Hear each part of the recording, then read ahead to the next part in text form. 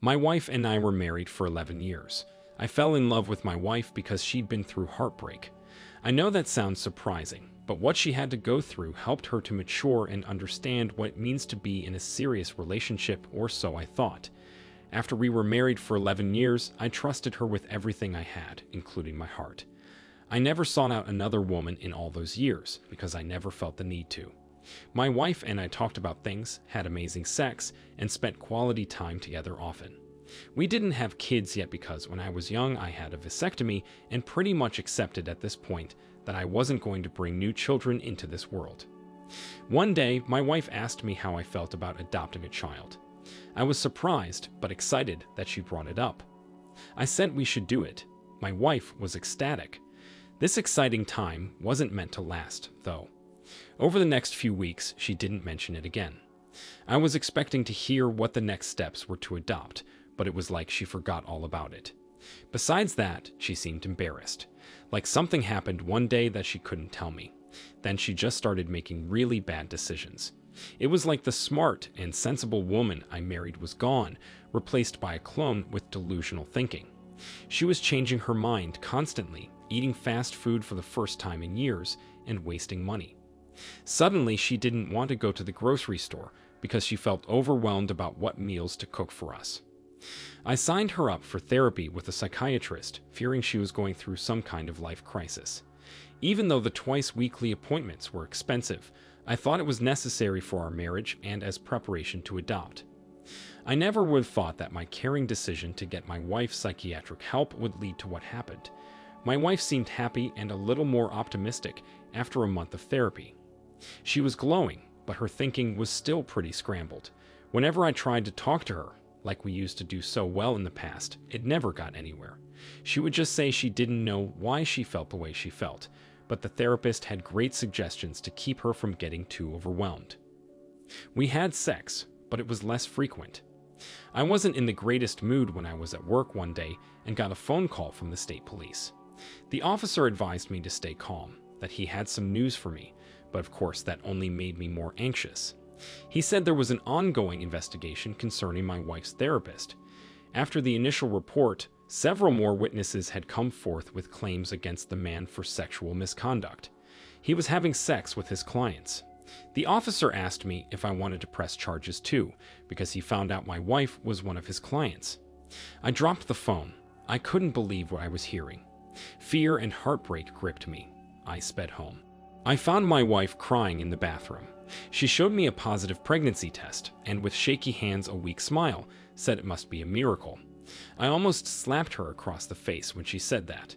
I told her I just spent 11 years and thousands of dollars on her, only for her to cheat on me with her psychiatrist. And now she conceived his child. I was screaming at her. She was sobbing, sitting on the edge of the tub, holding her face. She tried to say she was sorry for what happened, but she was fine now.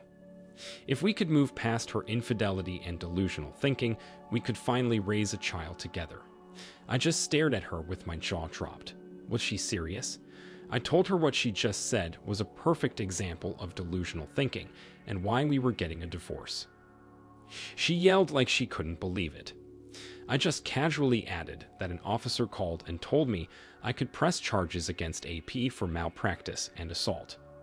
I started furiously packing her bags knowing that in a few months none of her clothes would fit. So much for adopting a child together. So much for the past 11 years I built trust with this girl. I told her all this, and she just cried and asked me pointless questions, like would I stay with her if she got an abortion.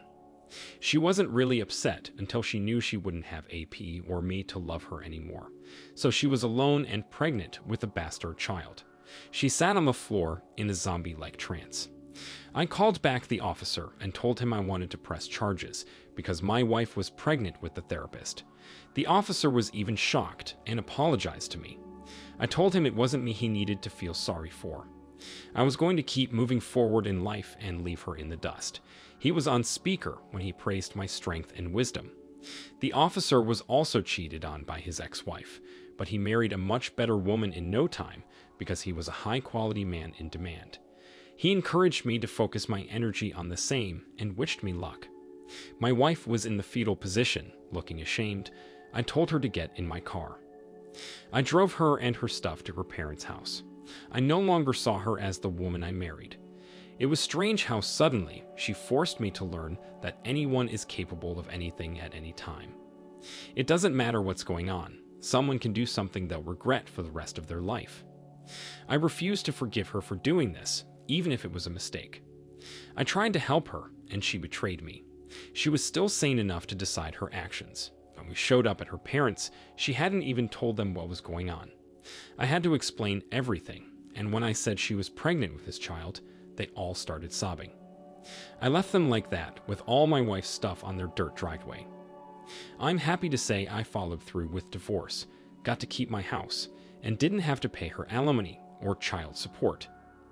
She was kicked out of her parents' house and is raising a baby on her own at the age of 40 while AP continues serving time. OP, I am so sorry your wife cheated on you with a man you intended to help her. This was completely strange and uncalled for. Maybe your wife was having some kind of life crisis, but this never should have happened. It was up to her and a trusted professional not to do anything that would jeopardize her marriage or his career. They both failed, and apparently he failed several times with other women. They both deserved the consequences they faced. She was ready to claim a miracle before telling you what really happened. I'm relieved that you received a call from the police and found out what the therapist was really up to. Then, as if by chance, your wife is pregnant for the first time after 11 years of marriage. There's no way it could have been your child. Karma seems to be on your side. There's women out there who have sound minds and respect and love their husbands. Life is best enjoyed with selflessness and appreciation for the people that give themselves to you. Thank you for sharing with us. Now let's get into our second story for today. I, 44 male, met my wife, 37 female, online. She was from a foreign country, always very curious about the US. I just thought her excitement was adorable. I knew she would jump at the opportunity to live with me, so after online dating for several months, I paid her way over here. When I met her in person, I realized the phone didn't do her justice. She was a model. Her skin was always glowing like she just stepped out of a dream. Maybe her beauty hypnotized me, but she seemed like an amazing, caring woman. She was independent, without children, and never really had a serious relationship before. She was well educated and wanted to see new places. Before either of us knew it, she had been living with me for a while. I loved having her there every morning and night. I went off to work, and she took care of the house. She started a vegetable garden and took over grocery shopping. She cooked her country's specialties for me every day. Our happy little life together was thrown a curve ball when we were given 90 days to get married and arrange her citizenship papers. That wasn't very much time, but I hardly hesitated for one moment to marry her. I never wanted her to leave. She used her time as a homemaker to make my life more meaningful. I looked forward to coming home to her every day to eat, talk, and make love in our beautiful home. Before her citizenship was brought to question, she told me she wanted to work a part time job. Since she also had things to do around the house, I arranged for a gardener to start working with us as soon as we returned from our honeymoon. That way, she wouldn't have to worry about keeping the vegetable garden free of pests or mowing the lawn. Before I met her, I was usually the one to mow the lawn, but now I just wanted to spend time with my gorgeous wife. It seemed fate was smiling upon me. The gardener got to work, planting and caring for flowers, vegetables, and fruits. At least once a week, he would bring my wife a beautiful bouquet of flowers or prepare her a fruit basket. I knew he was doing this for her, but I didn't realize he was romanticizing her. As I understood it, these gestures of kindness were to make the missus happy on behalf of the man paying the bills and gardener's wages. I walked in on them one day when I got home from work. He was helping her in the kitchen with dinner, and I just happened to see his arm around her waist. It was in a moment where he was scooching by, in the tight space between the counter and the island. Still, it wasn't that tight. He didn't have to be up against her in order to get through. He just wanted to feel her. When he saw me, his expression was that of fear. He might have needed to change his pants. I didn't waste any time. I asked him why I just saw him touching my wife. She gasped and spun around. She told me to hush, that I didn't need to worry. I just walked in at an awkward moment. There was nothing going on between them, and dinner was almost ready, so she suggested I change into something more comfortable and forget about it. She was so assertive and charming by how she responded to the situation. It was hard for me to do anything except what she suggested. Still, my gut told me something was up. I secretly installed security cameras. Of course, they were more expensive because they were like spy cameras. I waited a few weeks before checking them. From my perspective, my wife was innocent and acted completely normal around me. I was in my office when I looked through the footage until I found the most startling thing I ever saw. My wife, with the gardener on top of her, on the living room couch. She was cheating on me less than a month after our honeymoon. I let out a gasp and started crying. My hands trembled as I called her. She answered breathlessly, but elegantly. She asked me if I was on my way home yet because she couldn't wait for me to try what she made for dinner. I told her I just checked the security camera footage and she needed to start packing. I also told her that I saw her having sex with the gardener and she could kiss her citizenship papers goodbye. With tears flowing and a thick accent, she tried telling me what happened in the living room was nothing. Then she asked how I saw them. I told her nothing she had to say mattered. Our time playing house was over because it was clear she didn't want to do it for real. I told her to start packing and be ready to board a plane back home. Without me willing to sign her papers, she only had two choices. She could stay in my house without permission until she gets deported or willingly leave with my help. It took some persuasion and threats, but she got into my car with all her stuff, and I put her on the next plane out of the US.